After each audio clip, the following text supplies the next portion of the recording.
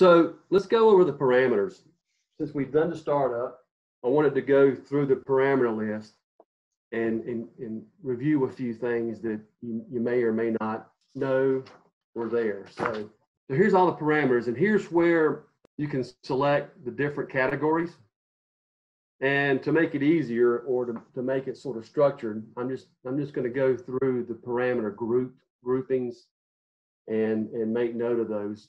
There's in the basic display, I use this for troubleshooting. I mean, obviously you can see how fast the drive's going and you can see right now my potentiometer on my drive is my commanded speed so that if I go over here and change this speed, it should go up. And I went ahead and moved it up a little bit. I, I moved it all the way up, didn't I? I didn't realize that. Um, so now it's commanded 60 hertz. So it should run at that speed command. But quite frankly, you don't even need to run it. Honestly, this you can adjust your speed reference. If it's an active speed reference, you could adjust it and say, hey, look, my drive should come up and run at 59 hertz. So I know my speed is right. I don't, I don't have to run it to make sure my speed reference is correct. And obviously, if you do run it and it don't reach the speed, it's going to fault because it's going to do everything it possibly can to get there uh, until it burns itself out or, or overloads itself enough to a fault. There's all your fault codes. Uh, there's, there's some pretty cool stuff here from a troubleshooting standpoint. These status parameters really help. It tells you the drive is not running. It is commanded forward. It would tell you if it was accelerating or decelerating, or it would tell you if the safety circuit is active. Um, if I remove the safety, that bit would go high and it would prevent me from running. The control source here, if you notice, and this is what I love about CCW, if you click on the parameter you, and you hit the help button, or you can click the help here, it gives you more detailed information about that parameter. I'm going to expand this out. And if you notice, it said 15. So the first digit, which is the furthest digit to the right, said five. Start command is over Ethernet. I didn't, so my start command is over Ethernet, and it said one five. It said one uh, drive pot is my speed, so it had zero one five. If I close this out, notice it says 15 here. So there's a good way of knowing without even again without even running the drive. You can click on this parameter, go look at it in the manual, open it up, and determine where your speed reference is coming from and where your start reference is coming from, start command is coming from. Your control status is basically the whether your inputs are high or low. And in this particular case here, uh, uh, bit three tells you if your DB trans transistor is on or not. And then the, the other digital input status is the remaining terminal blocks, remaining four inputs. You can tell whether they're on or not. So you could check your inputs, but without even having to run the drive. You know, just say, look, this should be on. Is it on? Just kind of food for thought and very, very neat to um, to be able to to see without actually having to run anything. so here's where I want to talk a little bit about um, energy savings. The drive has some parameters inside: elapsed kilowatt hours, uh, energy saved. If you click on this parameter, double click, open it up, it says total energy savings of using the drive compared to an across the line starter since the last reset of the meters. So you, you can obviously reset these meters. Now these accumulated savings are not resettable. You click on that, it says total approximate, approximate accumulated energy savings of the drive compared to using a cross line starter. So this is an accumulated energy savings. It doesn't it doesn't appear to be resettable at all.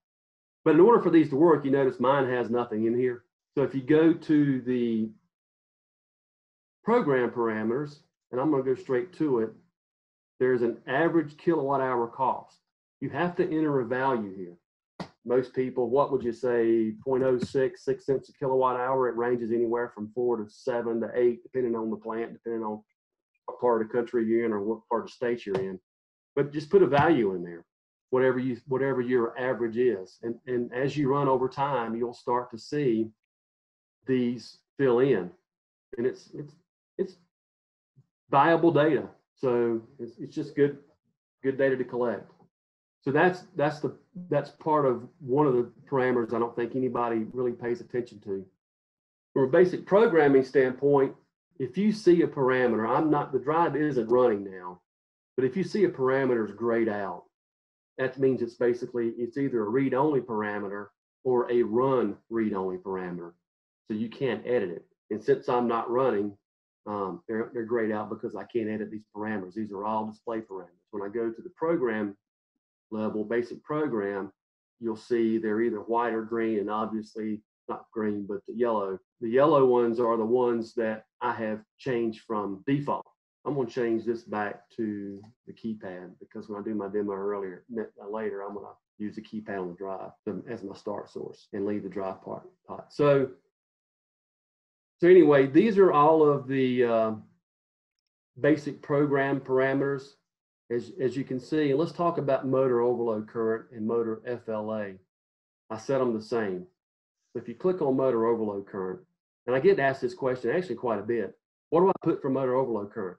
So whatever values in motor overload current, here's how it responds. The drive will fault on an FO7 motor overload if the value of the parameter is exceeded by 150% for 60 seconds. So you could set it anywhere from 0.1 to 200% of drive rated current. I just choose to set it for motor overload. If you want to set it low, or you can do that, but I, that's just what I've done. If you can choose, if you want to choose to set it higher, you can. If you think your motor can handle more overload, you can do that as well. It's all, all dependent upon what you think the needs of the of the load are and what the motor can handle. I also know that it's very important. Again, you fill out the poles and the motor nameplate data correctly. It's got to be accurate. So, from a basic parameter standpoint, uh, the only other thing I wanted to note was there are three different feed and start sources start source one, start source two, start source three, speeds reference one, two, and three. And these are all controlled, can be all controlled by inputs, terminal block, digital inputs on the drive as to which one to use. Speaking of terminal blocks, I'm going to go to the next level, which is the terminals. And I'm about to run out, so I'm going to try to breeze through this real quick. Um, here are my opto outputs. There's something here. I, this, there's a new parameter here. It's not in the manual, parameter 74. If you double click on this and you hit help, it doesn't give you help. It goes it defaults to parameter one. So in order to find out what this parameter was or is, I had to go to knowledge base. And what it is is basically the fraction of the above parameter. So if I wanted to put at frequency and I wanted to say I want it to I want it to come on at 40.5 hertz. Um, before before this parameter was here, I only had 40. Now I can enter 40.5. It adds these together. So that's what that F stands for is the fraction of the whole number. You could put 0.75, anything up to 0.95, 0.9, I believe. Yeah. Can you put one? No, you can't put one. So just food for thought. That's not in the manual, but now you know. Same thing for the relay outputs. We have brake delay, on delay, off delay for brakes. This parameter does not apply unless you set the stop mode to ramp plus EM brake, electromechanical brake. If you were to set stop mode to electromechanical brake, then these, these values would take effect and you would probably need to adjust these times. So remember when my safety faulted, when I cycled power and my safety faulted? Here's where it is parameter 59, parameter 105 enables or disables that fault. I'm to leave it enabled because it doesn't hurt me. Um, and if you have a fault, actually a fault on your safety circuit, you can say, I want to cycle power to reset it, or I just want to hit the fault clears. Uh, I think by default, it, it's left, yeah, it does. It's left it uh, power cycle reset. So let's move on to communications. I'm not going to go too much over the communications other than this is where I set my IP address because it's kind of outside the realm of this, uh, this basic class here. I will say that you can add data links here to the drive. You can add four in four parameter data links for parameter uh, in and out. And we're going to go over this a little bit too, when we, or quite a bit when we do the Premier integration class in a couple weeks. So come back for that. Logic is what I'm going to go over in the wizard. So these are the step logics. We'll talk about that in the wizard. It's just quite a bit easier to do these in the wizard. Here's my advanced display parameters. You can look at some, some more high level kind of stuff. You can look at how far the encoder's traveled, um, all kinds of stuff.